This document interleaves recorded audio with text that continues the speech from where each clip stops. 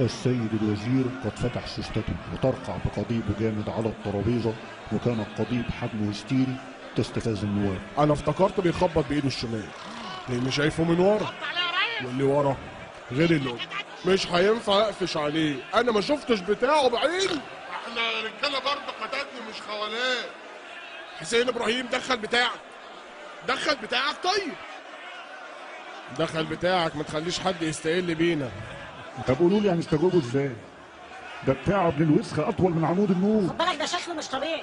الراجل هناك ده ابن وسخه أطول ويستخدم من فياجرا عمود صهيوني النور. يقعد يلب كده زب بيقعد يلب لا بتخلي الزب يكبر ويلق. لو بيلق يمكن مش متثبت كويس. هو إيه اللي كله من فياجرا الصهيوني يقعد يلق يلق يبقى ويلب. يتنسى في نص يلسوع قوي قوي. سوف يذكر التاريخ. العالمي. مشهد القديم انت عايز تلسوعني الهستيري والمفزع والمتوحش مش هتقدر تلسوعني انت بتستخدم فياجرا أنا ما بستخدمهاش. أنا بتاعي ما بيقفش. بس ما يهمنيش.